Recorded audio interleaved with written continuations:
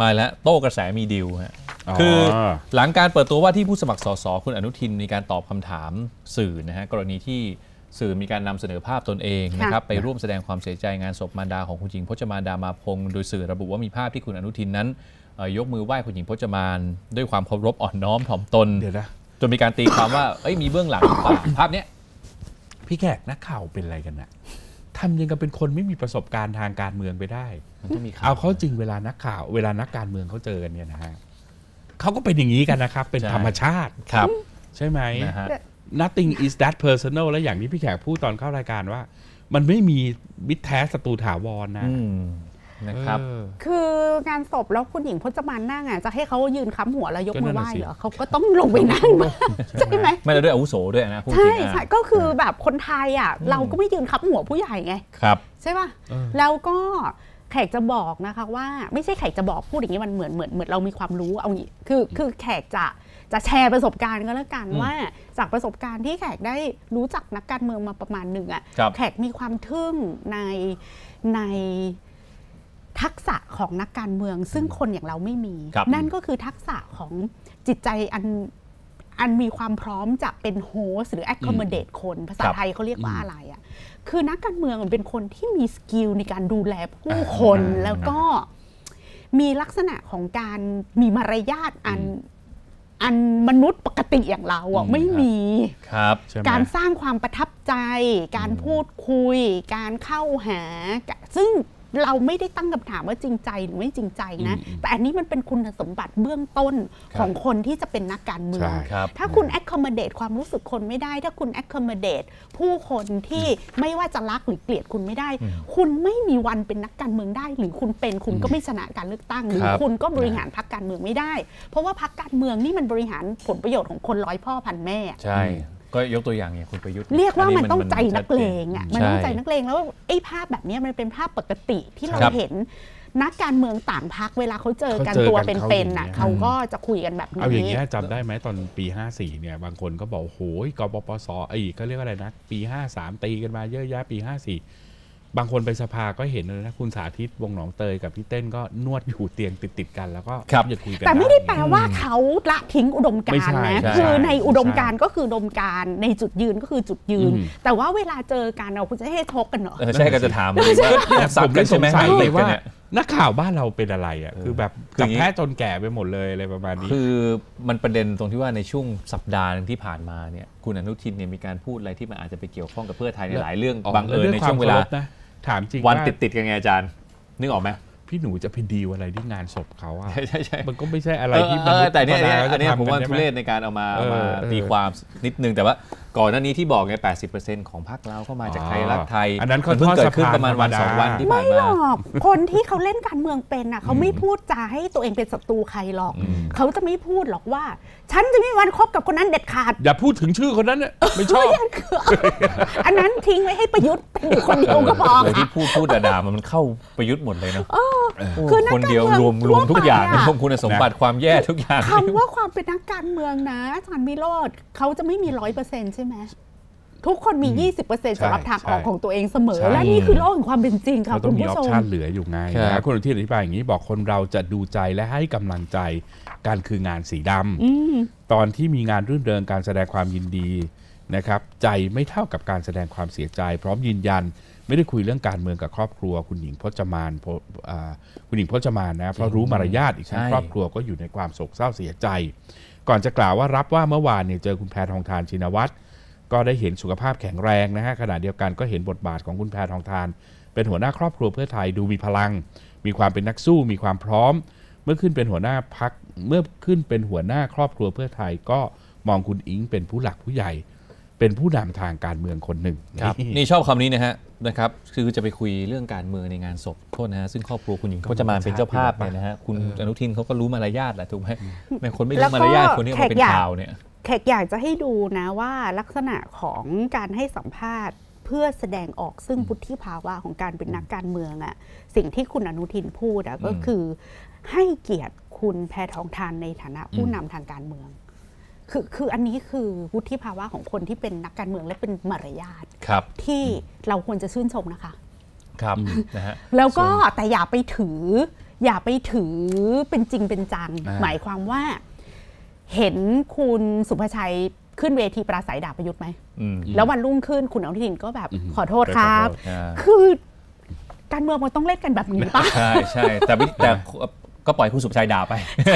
เดี๋ยวเดี๋ยวผมขอโทษเอง แล้วเวลาสัมภาษณ์ถึงเอ่อหัวหน้าพักการเมืองอ่าพักอื่น มันก็ต้องเออแต่พูดแบบให้เกียรแต่ติสักังนเกตใช่นะปะอะคุณอนุทินก็จะเออมีคุณภาพตรงนี้ที่อืมไม่นี่เท่าไหร่อ่าอืมกับทุกพักประมาณนี้ เว้นแต่ว่าเวลาเล่นเอ่อ Facebook Live อ๋อแล้วก็เรื่องตอบตอบคนดูไม่อันนั้นด่าคนดูอันนั้นด่าคนดูอันนั้นไม่คนดูค่อยแล้วพี่แขกถนัดแนวนั้นเหมือนจะเลิกแล้วนะอ๋อชนมาชนกลับนี่ด่ามาด่ากลับไม่โกงไงฮะคือแขกอะไม่อยากให้เราลุกอัพทูนักการเมืองว่า มันจะต้องดีมันจะต้องเพอร์เฟกอืมอยากให้เห็นมันเป็นมนุษย์อะแล้วมันเล่นในต่างบทบาทต่างครับวาระต่างเอ่อบริบทครับแล้วก็ดูมันแบบนี่ไงก็มนุษย์อะ แล้วก็นี่คือคนที่เราจะเลือกหรือไม่เลือกน่ะปากกาอยู่ในมือเราใช่ไหมครับ แล้วถึงที่สุดแล้วคุณอนุทินก็เคยอยู่กับพรรคไทยรักไทยเนาะรัฐมนตรีช่วยสองครั้ง โอ้ใช่แต่มันก็เป็นประวัติศาสตร์บาดแผลนะอ่าอ่าหลัในงจากมุนั้มนเนี่ยเออในตอนออกมาคือเนอะนะคือเราก็จะไม่ปฏิเสธว่าอะไรเคยเกิดขึ้นและอะไรจะไม่เคยเกิดขึ้นครับมันความสัมพันธ์ของคุณอนุทินคุณเนวินกับพักไทยรักไทยต้องต้องใช้คำว่าประวัติศาสตร์บาดแผลครับมันไม่มีใครลืมหรอกค่ะ ครับค่ะนะฮะเอ่อ ยังไม่จบเรื่องที่นักข่าวถามคุณอนุทินต่อนะนะ ต่อไปนี้เรื่องหนึ่งใช่ไหมพอที่ทำเนียบรัฐบาลก็ถามกรณีคุณอิงไงฮะไปออกรายการของคุณจอมขวัญนะนะอืมนะครับเอ่อเมื่อวันที่ 3 กุมภาพันธ์ที่ผ่านมา แล้วก็มันมีคำถามหนึ่งที่ถามว่าอะไรนะพักภูมิใจไทยถือว่าเป็นพักประชาธิปไตย ในนิยามคุณอิงไหมนี่เข้าใจว่าทางเอ่อคุณจอมขวัญเป็นคนถามนะฮะนะแล้วก็ครับคุณอิงบอกว่าเนี่ยในเวลานี้อะไรนะคือคือ ผมได้ได้ดูคลิปนั้นนะนะฮะผมขออนุญาตอ่านมาเป็นเป็นตัวหนังสือที่เขาเขียนมาอืมนะก็คือประมาณว่าแบบว่าอิงว่าในเวลานี้ยังค่ะนะเวลานี้ยังค่ะนะคือคำถามก่อนหน้าเหมือนกับถูกถามเรื่องการจับมือภูมิใจไทยอะไรต่างๆไงอืมนะครับคุณอิงก็เลยตอบว่ายังไม่คุยกับภูมิใจไทยเรื่องการจับมือเพราะอิงว่ามันยังไม่ใช่เวลานะอืมคุณอนุทินก็โดนถามประเด็นนี้ด้วยนะครับโดยคุณอนุทินกล่าวตอบว่า ตนยังไม่ได้ฟังการสัมภาษณ์ดังกล่าวขอลองไปฟังก่อนนะฮะบางทีการฟังปากต่อปาก ไม่สามารถพูดอะไรได้ ก่อนจะระบุพรรคการเมืองถือเป็นประชาธิปไตยทุกพรรคซึ่งการเลือกตั้งปี 62 ก็น่าจะเป็นประชาธิปไตยเต็มใบแล้ว ภายใต้รัฐธรรมนูญ และเมื่อถูกถามนะครับว่าที่พรรคภูมิใจไทยจับมือกับพลังประชารัฐจอนจัดตั้งรัฐบาลปี 62 เนี่ยมีความหมายว่าอย่างไร คุณอนุทินสวนกลับทันทีนะฮะจะไปถามทำไมเราถามถึงอนาคตสิอีก 3 เดือนก็น่าจะมีการเลือกตั้งเรามองไปข้างหน้าดีกว่าครับเราเคยมีรัฐบาลทหาร มีคอสช รัฐประหารมาก็ทำให้ เป็นรัฐบาลที่มีการตรวจสอบ มีระบบรัฐสภา เที่ยวหน้าก็เป็นการเลือกตั้งที่มีความเท่าเทียม ใช้นโยบายแข่งขันดีขึ้นเรื่อยๆนะฮะนี่นะครับแกเคยตอบอย่างนี้เลยบอกควรจะให้เครดิตภูมิใจไทยด้วยนะ ที่ไปร่วมอะเพเพราะราะว่ามันทำให้เขาก็ต้องทำงานอยู่ภายใต้ค่ะกระบวนการของการเป็นประชาธิปไตยไงอืมนะครับพูดง่ายคือหยุดสืบทอดอำนาจของคอสชเรียบร้อย ครับอ่าค่ะนี่คือคำอธิบายของคุณอนุทินนะครับนะปุ๊บนี่ อ่านะฮะก็แต่แขกไม่เข้าใจคำถาม คือพักภูมิใจไทยถือว่าเป็นพักประชาธิปไตย คือคำถามก็คือจะบอกว่าภูมิใจไทยเนี่ยเป็นพวกพรรคสืบทอดอำนาจหรือเปล่า นอกจากพอไปเป็นนั่งร้านให้ประยุทธ์มีสามเหปรออแล้วเนี่ยอืมอ่ามีนั่งร้านให้พลเอกประยุทธ์ด้วยหรือไม่อะไรครับอย่างเงี้ยนะฮะเราก็เลยอ่าปฏิเสธ เพราะว่าก็บอกมาตามเลือกตั้งปี 62อะไรอย่างคืนี้อใช่ไหมคือมันจะถามซ้ำทำไม ในเมื่อหลังการเลือกตั้งปี 62 มันชัดเจน ว่าพักอะ ที่ไปสังฆกรรมกับพลังประชารัฐอะเราถือว่าเป็นพักที่สังฆกรรมกับการสืบทอดอำนาจอืมแล้วพักที่มารวมกันเป็นฝ่ายค้านอะเป็นพักที่ปฏิเสธการสังฆกรรมกับการสืบทอดอำนาจครับ คือมันง่ายมากเลย คือคำถามเนี่ยต้องชัด ต้องบอกว่าคุณเห็นว่าพักภูมิใจไทยเป็นพักที่มีส่วนในการทำให้ประยุทธ์ได้มีอำนาจต่อจากรัฐบาลอืมที่ขึ้น มาสู่อำนาจผ่านการรัฐประหารหรือไม่อืมเออ แล้วคุณจะสามารถคบกับเขาได้หรือไม่ครับอืมใช่ไหมคือแต่ว่าพักประชาธิปไตยหรือไม่ประชาธิปไตยอะคือพักที่เขาลงเลือกตั้งอะอืมก็แปลว่าก็ถือว่าพักนั้นใช่สมาทานครับระบอบประชาธิปไตยถูกปะครับนะเพราะอย่างนั้นน่ะประยุทธ์มันจะเขียนรัฐธรรมนูญแล้วลงเลือกตั้งทำไมอืมมันก็รัฐประหารอีกรอบไงครับ ใช่ไหมใช่ปะครับนะคือคำถามมันไม่เคลียร์คือพักฝั่งประชาธิปไตยอะก็คือพักฝ่ายค้านเกือบทั้งหมดนั่นแหละอืมคือเป็นพักฝั่งประชาธิปไตย ถ้าพักฝั่งสืบทอดอำนาจก็มีภูมิใจไทยประชาธิปัตย์พลังประชารัฐลุเอ่อพักอะไรอีกอะชาติไทยพัฒนาครับนะก็คืออันเนี้ยพักที่ไปสังฆกรรมกับฝั่งสืบทอดอำนาจครับอืมแต่ถามว่าพักนี้เป็นประชาธิปไตยหรือเปล่าอืมมันตอบไม่ได้ไง เอาทุกพักลงเลือกตั้งมันก็แปลว่าเขาเป็นประชาธิปไตยครับอืม งงปะงงงฟักับฟังคำเริ่มถามงงไปฟังนะงงชั้นหรือว่างงคำถามงงเขาคำถามงงคำถามงงคำถามนะแล้วก็ยังมียังไม่พออีกนะเออหมีที่นิดนึงไปอีกใช่ไหมนะอ่านี่อีกนิดไปนึงงานแล้วกันวันเกิดโอ้โหยุ่งจริงวันนี้หมู่นี้นะพี่หนูนะไปวันเกิดใครครับเนี่ยของคุณสุวัสดิ์ลิปตาพันลบนะครับอ่าอายุ 68 ปีนะครับในงานวันเกิดก็มีคุณกรณ์ก็ต้องไปอยู่แล้วใช่ไหมชาติพัฒนาอ่ากล้าคุณอนุทินครับใช่ไหมฮะอ่าก็ไปร่วมรับประทานอาหารกลางวันกันแต่หัวใจมันอยู่ตรงนี้นะฮะอ่า นักข่าวนะครับถามถึงคุณสุวัสด์นะถึงความร่วมมือกันระหว่างขั้วการเมืองต่างๆเนี่ยคุณสุวัสด์ตอบว่าทุกวันนี้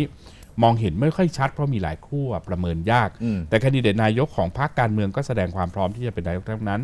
จึงจำเป็นต้องไปรอดูหลังการเลือกตั้งว่าจะจับมือกับใครครับทางนี้มองว่าแนวโน้มที่จะเกิดขึ้นก็คือรัฐบาลผสม โดยเชื่อว่าจะเป็นการเลือกตั้งที่มีการแข่งขันสูงมากนะฮะแต่คุณสุวัสด์บอกว่าแต่ถ้าต้องการที่จะให้ระบบการเมืองเดินไปข้างหน้า ในการเลือกตั้งครั้งต่อไปต้องมีอย่างน้อยรัฐบาลนะอืมต้องมีอย่างน้อย 300 ที่นั่งครับ อันนี้คือความเห็นของคุณสุวัสคุดิ์ณสุวัสด์ค่ะอืมนะครับน่าสนใจคือต้องเป็นแบบเยอะขาดใช่ไหมชาติพัฒนากล้าถึงจะไปรวมด้วยอืมโอ้โหแล้วเราจะร่วมกับคุณกรณ์ได้ไหมฮะ ก็ เขาจะได้กี่ที่ดีกว่า อันนี้ที่ผมผมอยากผมสงสัยผมสงสัยจริงว่าว่าครั้งเนี้ยมันเหนื่อยนะเอ้าก็สุวัสด์เขาคัมแบ็กกับผู้ชั้นใหญ่โตขนาดนี้แล้วคุณคุณคุณกรณ์พูดจริงว่าอ๋อคือคือไม่ได้ทำกล้าแล้วมาเอ้ยจะทำเป็นเล่นนะขาหวังจเป็นแคนดิเดตนายกมันต้องยี่ห้าที่นะตัวตรงโทษนะครับตัวเบ้งๆเขาหลายคนก็ลงสอสอเลยนะลงเขตพื้นที่เลยนะๆอื มมีข่าวอย่างคุณคุณอัธวิทย์อย่างคุณอัธวิทย์เนี่ยเขตจตุจักรเนี่ยนะซึ่งเป็นเขตที่ตัวเองเคยชนะมีสโอมัยอยู่กาสใช้ได้ปัดสูงนะครับอ่าอืมใช่ไหมผมได้ข่าวว่าคุณกรณ์ก็อาจจะไปลงเขตสองเองซะด้วยซ้ำอันนี้ไม่ทราบได้ยินเป็นข่าวเขตสองกรุงเทพในเมืองด้วยเหรออืมนะฮะคือไม่ลงปาร์ตี้ลิสต์อะเอาอย่างเงี้ยครับอ่านะครับ ไม่รู้เหมือนกันนะอันนี้ต้องรอดูยังไงนะฮะแต่แคนดิเดตนายกคงเป็นคนนี้แหละนะคงเป็นคุณกรณ์แหละนะ ไม่รู้สิ แต่จุดยืนมันง่ายไง ฉันอยู่กับฝั่งรัฐบาลแน่นอนอ่าครับใครก็ตามที่เป็นรัฐบาลฉันจะไปขออยู่ด้วย แต่เขาจะเอาคุณอยู่ด้วยหรือเปล่าเป็นอีกอีกเรื่องเรื่องหหนึนึ่งงเออก็ต้องทำผลงานให้ดีสุดก็ต้องต้องมีเขาเรียกสอสอในมือนะให้ได้มากที่สุดนะ